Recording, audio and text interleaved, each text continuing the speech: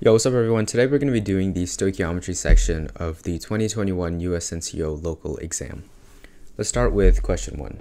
Uh, at 120 degrees Celsius and one atmosphere of pressure, one liter of methane reacts completely with excess oxygen to form carbon dioxide and water.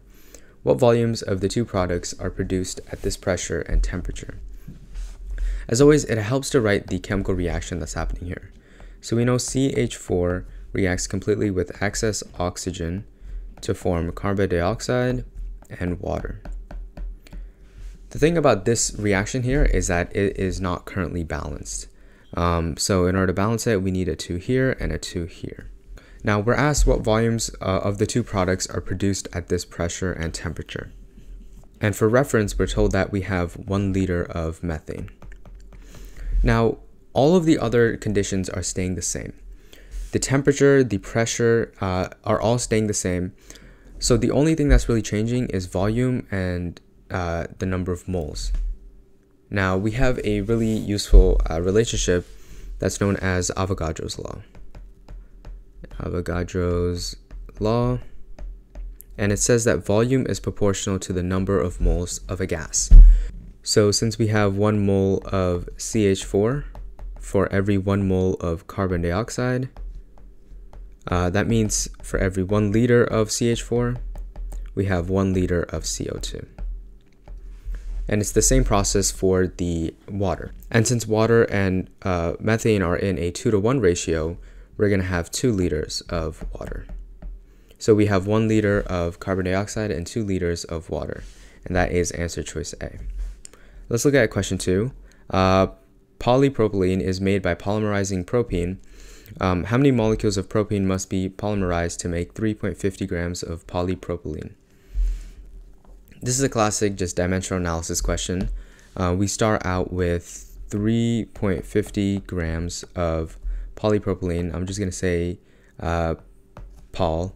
In order to turn this into moles, we uh, divide by the molar mass, so 42.1 grams of polypropylene per one mole of it. Now the question asks us for uh, how many molecules of propane. So to turn moles into molecules, we have to multiply by Avogadro's constant. So one mole is 6.02 times 10 to the 23rd uh, molecules. And that gets you 5.01 times 10 to the 22nd molecules, which is answer choice B. Okay, let's go to question three. An organic compound contains only carbon, hydrogen, nitrogen, and oxygen. It is 61.71% carbon, 4.03% hydrogen, and 16% nitrogen by mass. What is its empirical formula? For any of these uh, questions where you're given the percent mass, it's helpful to just assume a certain mass. So let's say the mass of the total compound is 100 grams. Well, that means that 61.71 grams of that are going to be carbon, 4.03 grams of that is going to be hydrogen and 16 grams of that is going to be nitrogen. Now you might realize that one of these elements, uh, one of the elements in our compound is left off, and that's going to be the oxygen. Since all of these masses must equal 100 grams, we can just subtract all three of these masses from 100 grams to get how many grams of oxygen we're going to have. And it's going to come out to 18.26 grams. Now, all your chemical uh, formulas are going to be based on moles, not really the the mass of the of mass of the element. So we have to convert all of these grams into moles. So let's divide by the molar mass of carbon, which is 12, and we get about 5.41, uh, sorry, 5.14 moles. Hydrogen has a molar mass of 1 gram, so that's 4.03 moles. Nitrogen has a molar mass of 14, so that is 1.14 moles, um, 1, 4, and oxygen has a molar mass of 16. So that is also 1.14 moles. So our ratio of moles, uh, it comes out to 5.14 to 4.03 to 1.14 to 1.14. But since these are not all integers, we need to do something to make them integers. And what we can do is we can divide the whole thing by the lowest uh, number that we have here. And the lowest number that we have here is 1.14. And when you do that, uh, you get that the new ratios become 4.5 to 3.5 to 1 to 1. Now we have two integers, but we still have two decimals. And we can get rid of the decimals by just multiplying the entire ratio by 2.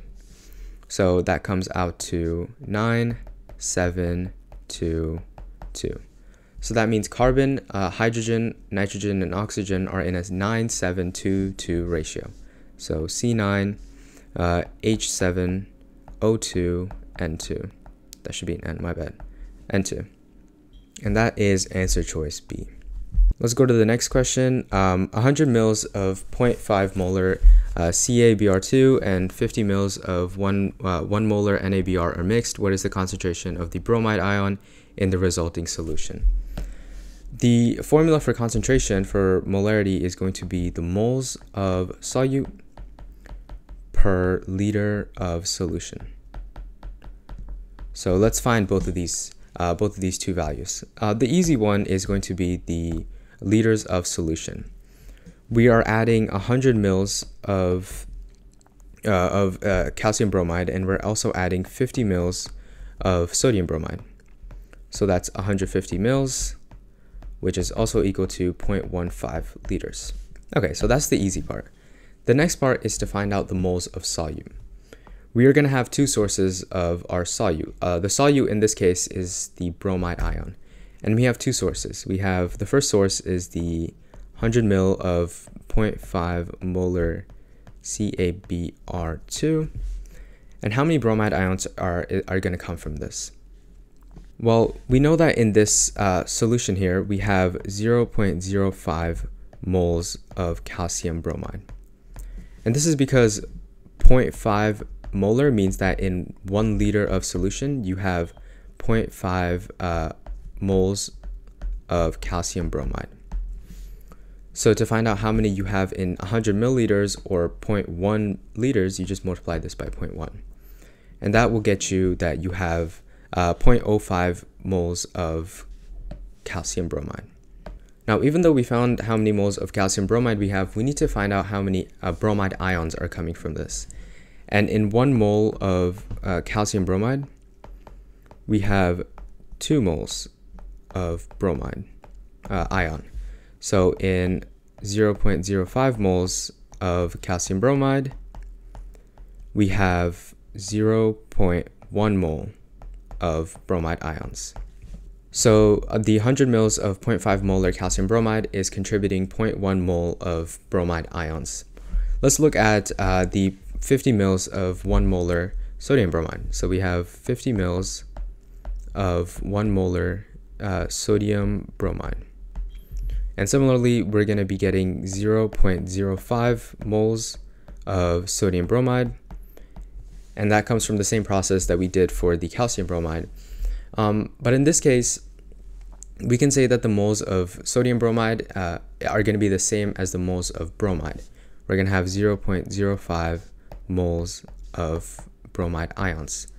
And that's because uh, the, the moles of sodium bromide to the moles of bromide are in a one-to-one ratio. So let's put all this information together.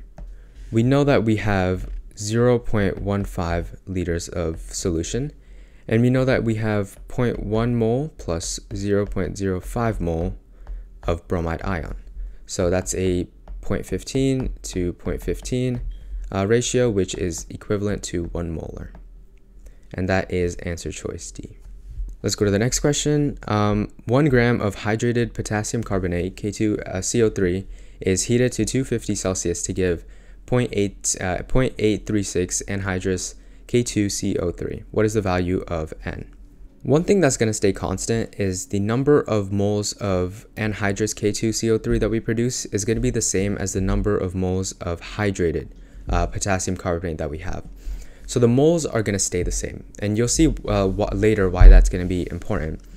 But let's uh, first calculate the moles. So we have 0.836 grams of K2CO3.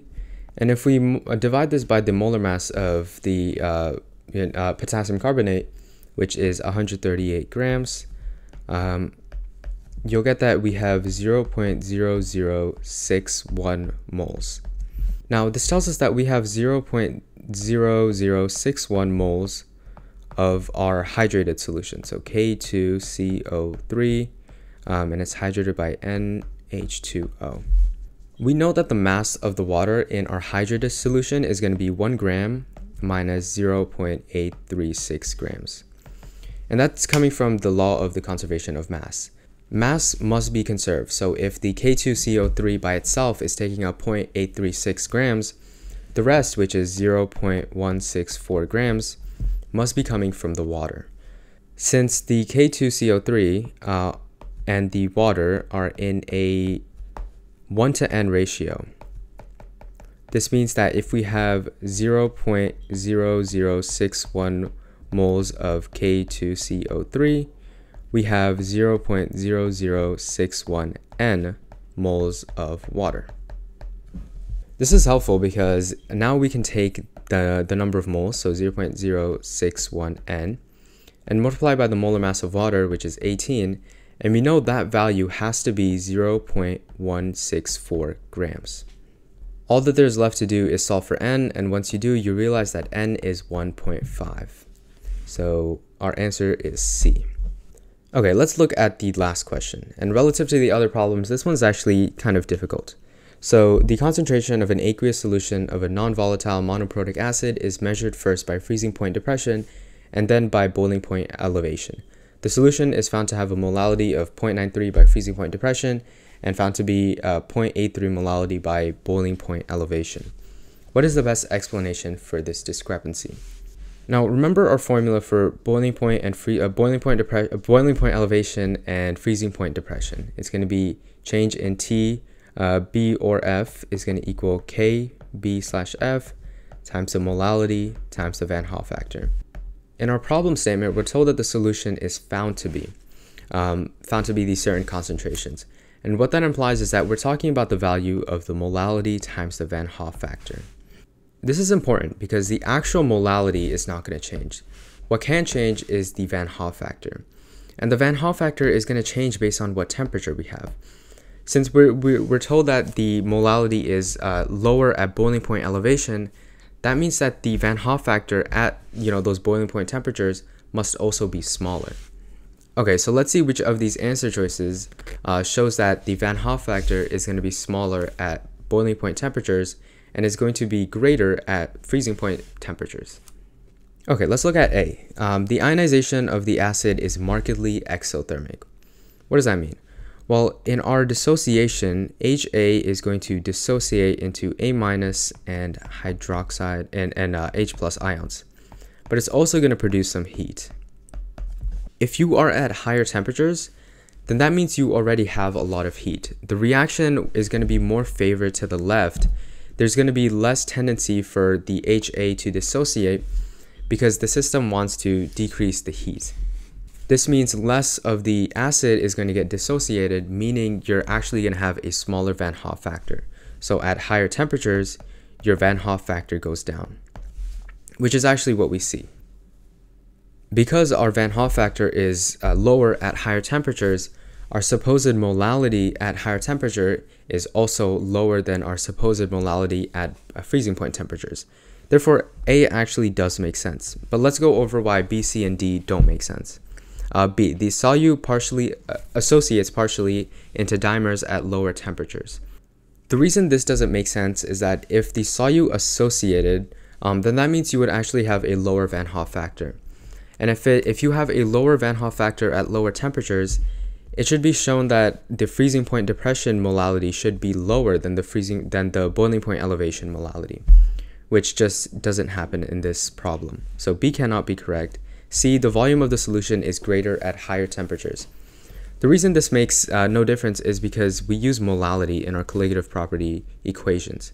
So remember, molality is going to be uh, the moles of solute over the kilogram of solvent. Nowhere in this does it involve any volume. And that's actually part of the reason why we use molality in our colligative properties instead of, instead of molarity. So C is not the right answer. D, the boiling point elevation constant for water is smaller than its freezing point depression constant. This is just not true. Both of the both of the constants are 1.86. So D is straight up not true. Um, so we're left with A, which does make sense. And that is the answer. Okay, that was the stoichiometry section of the 2021 USNCO local exam. Um, I hope this helped you, and I hope to see you later. Thank you.